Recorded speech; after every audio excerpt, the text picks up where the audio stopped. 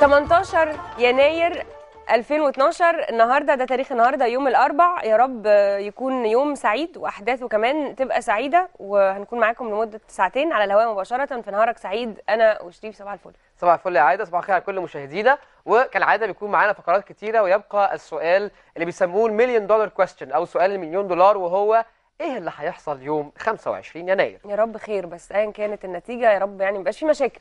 يعني سياسيا هنشوف بس انسانيا المهم ما يحصلش أي حاجة يعني. بصي بي شوقني جدا يعني بصراحة وأنا يعني آسف اني هقول كده بس النهارده أتفرج على الهوا على الصبح على تل- إحدى القنوات الخاصة يعني واتضايقت جدا إن لقيت strip ماشية تحت في القناة وزي ستار اكاديمي اللي هو voting تمام؟ آه، اجب على السؤال الثاني ما الذي سيحدث يوم 25 يناير؟ واحد فوضى. اثنين آه ما فيش فوضى. ثلاثة آه مش عارفة آه إيه. انقسام بين الآراء شغب ولا لا شغب. واتصل باثنين ثلاثة أربعة وهتكسب خمسة جنيه. يعني أنا شفت إن ده فعلا شيء مش عارف أقول إيه بس يعني. ملوش ملوش يعني حاجة غير إن ده سوء أداء.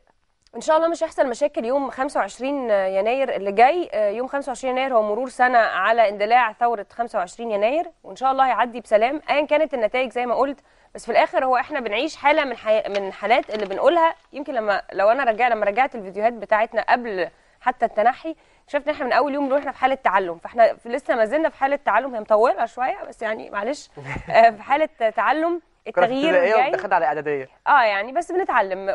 والعملية آه، عشان ننتقل نبقى بلد ديمقراطي مش في يوم وليلة وهناخد وقت. ايا كانت الاختلافات مفيش حد خاين مفيش حد ما بيحبش مصر مفيش حد ضد البلد. كلنا في الآخر عايزين المصلحة العامة. فبعتقد إن لو كلنا في بالنا ده أكيد يوم 25 هيمر بسلام والاختلاف السياسي مش معناه فوضى خالص. فان شاء الله خير. النهارده فقراتنا هتكون معظمها سياسي ومعظمها بيكون بيتكلم على هذا الموضوع. يمكن تقريبا كلها بتتكلم على هذا الموضوع. هنبدأ طبعا مع فقرة الصحافة وهيكون معانا فيها الأستاذ محمد طلعت الهواري الصحفي من مصر اليوم.